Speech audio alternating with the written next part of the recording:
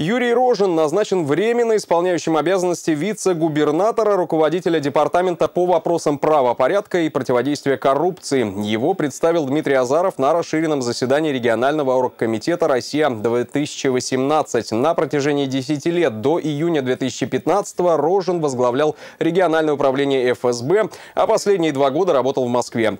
Напомню, должность вице-губернатора с 2012 по 2017 занимал Валерий Юртайкин. Он стал первым чиновником, который покинул свой пост после назначения нового руководителя области.